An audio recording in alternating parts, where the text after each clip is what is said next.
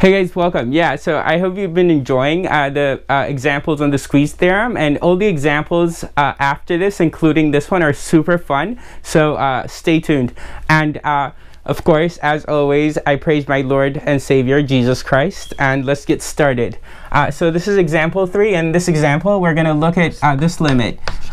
lim is n goes to infinity of 7 to the n over n factorial. Yeah? Okay, now you don't have to use the squeeze theorem to uh, prove this limit or to show what it is.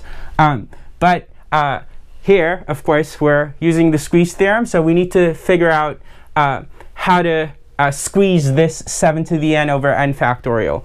But however you think about this, you cannot depart from the following line of thinking, which is that like 7 to the n, right? 7 to the n is n sevens in a product. So that's like 7 times 7 times 7. I'm not to write uh, too many sevens, don't worry. But I will intentionally write seven sevens after this because it will help a lot of you understand this. Yeah, so 7 times 7 times 7, 4, 5, 6, 7. So I've got seven sevens here and three sevens here and a bunch of sevens in between to make n sevens, right? That's what 7 to the n is. And n factorial, we've been through this before, but yeah, n factorial is equal to n times n minus 1,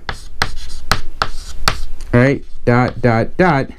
What's the tail end of n factorial going to be? Uh, in fact, the last 7 in n factorial. They're going to be 7 times 6 times 5.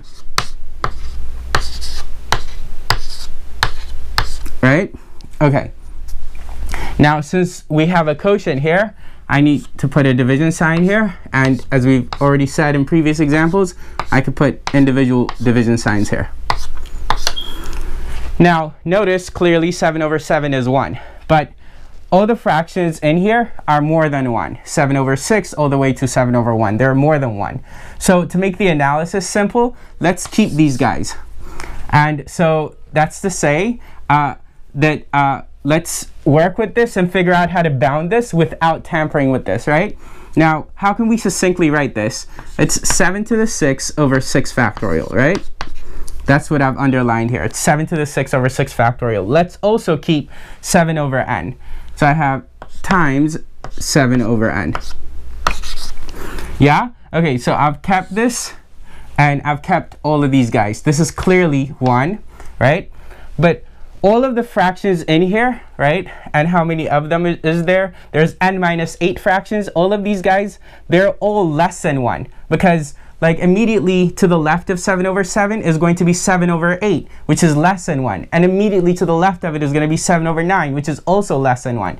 So the n minus 8 fractions in here are all less than 1. So if we replace all of them by 1, then surely I can say this, which is 7 to the n over n factorial is less or equal to this.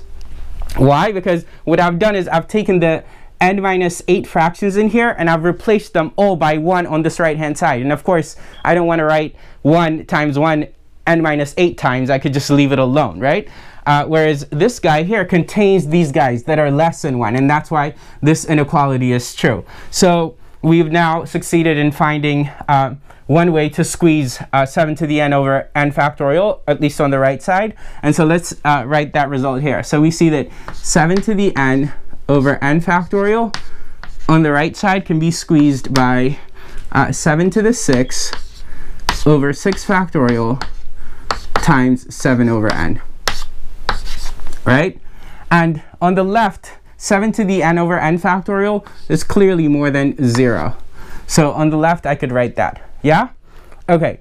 So now we want to apply the squeeze theorem because we've managed to squeeze 7 over 7 to the n over n factorial. And so I go lim is n goes to infinity of 0 is less than lim is n goes to infinity of our guy 7 to the n over n factorial which is less or equal to lim is n goes to infinity of 7 to the 6 over 6 factorial times 7 over n.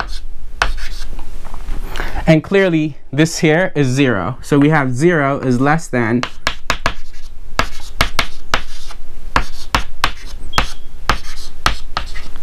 which is lesser or equal to, what's this limit? Clearly zero, because as n goes to infinity, this is gonna go to zero. And so we'll have zero times whatever, who cares, right? And therefore, this here by the squeeze theorem is equal to zero. Yeah? All right, cool. I hope you enjoyed this. And the next example is even more fun. So keep watching. Take care.